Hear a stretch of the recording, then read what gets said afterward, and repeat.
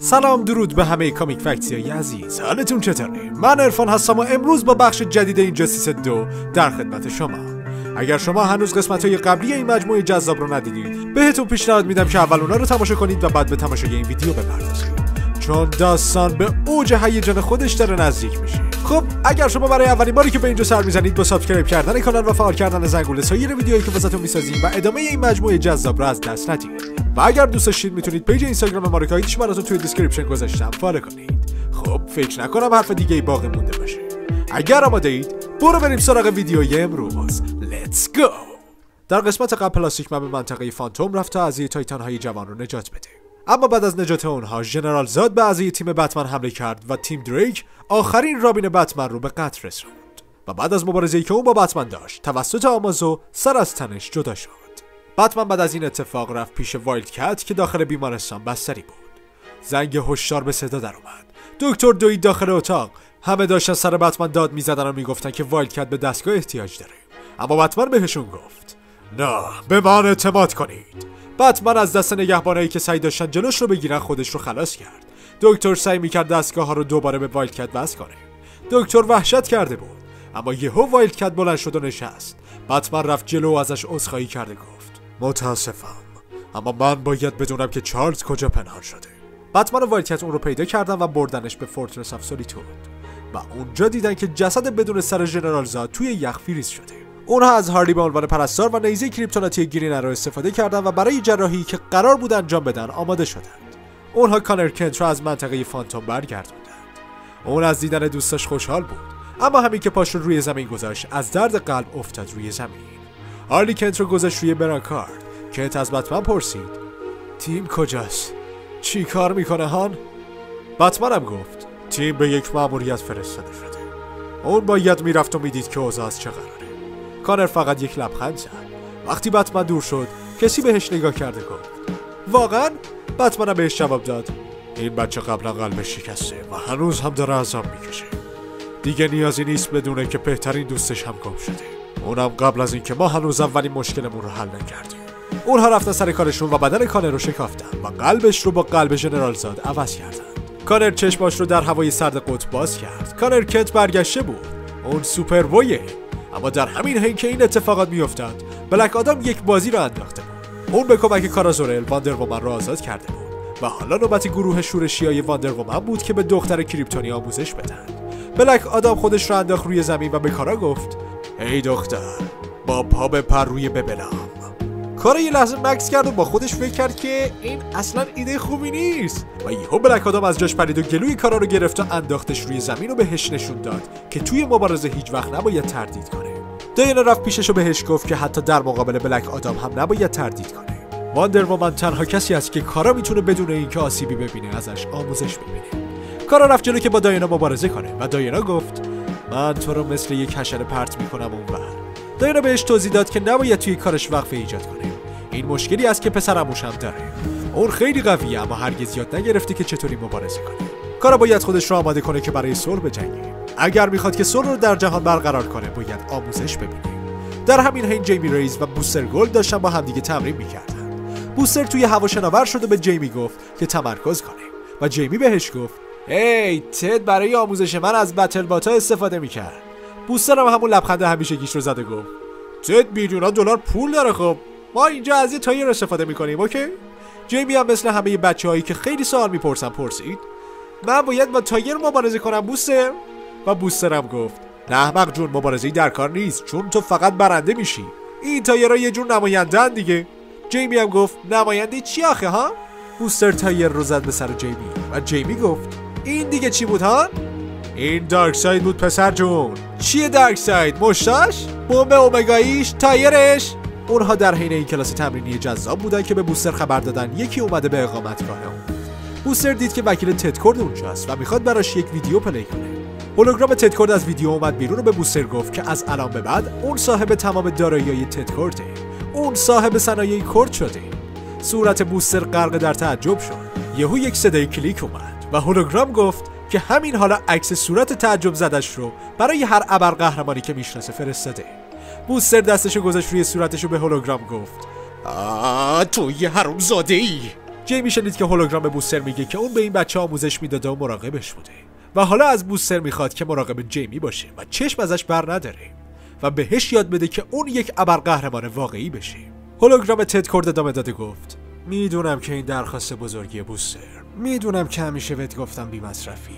اما من هیچ وقت اینطوری فکر نمی کردم من بهت باور دارم. عاشقتم مرد. اما اون طرف بلک آدام کارا و داینا و دیمین داشتن با همدیگه حرف می‌زدن و می‌گفتن که یک شهری توی آریزونا به خاطر حمله رسل قول کاملا نابود شده و هیچ کس هم از اونجا زنده نمونده.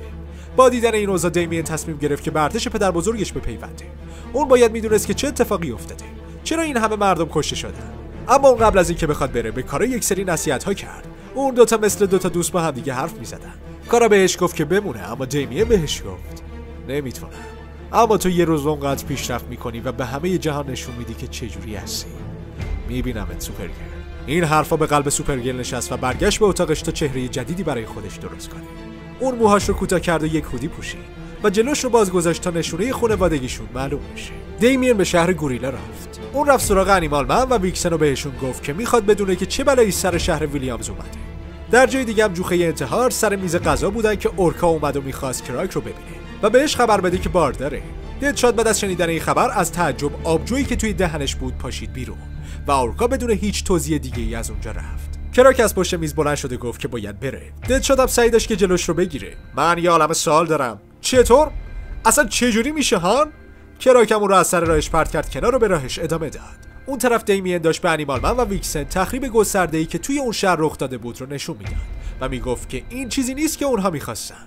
همه مردن واقعا نمیشه هضمش کرد. اون سه نفر به اتاق پادشاه رفتن و دیدن که سولوبار، راس و گراد اونجا دیمیر شواهدش رو نشون داد و پرسید که چه اتفاقی افتاده. اما گراد گفت که هیچ تمایلی برای شنیدن تقاضای انسان ها نداره. و بعد به سولوبار گفت چرا اجازه دادی این انسان ها بیاد جلوی تختت؟ ما باید همه جا رو تسخیر کنیم و همه انسان ها رو بکشیم. انیمال من سعی داشت که اوضاع رو درست کنه. اون به گراد گفت. آروم باش من گراد سرش فریاد زد. من مرد نیستم. سولوار به نگهبان گفت که گراد را از اونجا دور کنن. و گراد گفت فکر می‌کنی که همه گوریل ها با تو رهبری نداشتن موافقن؟ دختر بتمن در گوش رس گفت که این خوب نیست. رس زمزمه کرد. متحدانمون رو فرا بخون.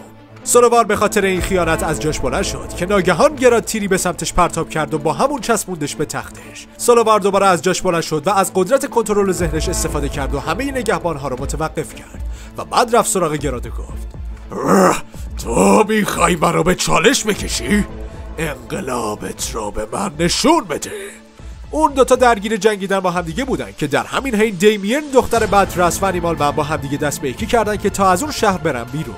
اما نگهبانای گراد جلوشون رو گرفتن و گفتن که دیگه حفاظتی در کار نیست و تنها راهشون هم مرگه اما در همین لحظه ریشه های درخت انگور از پشت سر اونها رو در بر گرفتن و پویزن آیوی ظاهر شده گفت از این طرف همین که یکی از گوریلا پشت سر آیوی ظاهر شد که یک لقمه چپش کنه دختر بعد یک گلوله توی مغز اون گوریل فرو کرد. راست گفت. ما نمی‌تونیم از اینجا بریم. ما خیلی کار کردیم. برای اینکه موفق بشیم. به اسلحه آمازوی من احتیاج داریم. ما احتیاج داریم که سولوار پادشاه شهر گوریل ها باشه. اونها پرسیدن که دارن چیکار می‌کنن و رسم همه گفت از وقتی که به اینجا آمده این نقشه رو ریخته. اونها فقط به آمازو احتیاج دارن. اون بیرون آمازو و بتمن شرور رو جوخه انتحار ایستاده بودن. جنگ بر سر اسلحه شروع شد. نگهبانا به سمت جوخه انتحار حمله کردن و یکی از اونها نزدیک بود اورکا رو بکشه که کراک فرید و سرش رو گاز گرفت. اورکا با عشق نگاهش کرده گفت تو گوریل رو به خاطر من کشتی؟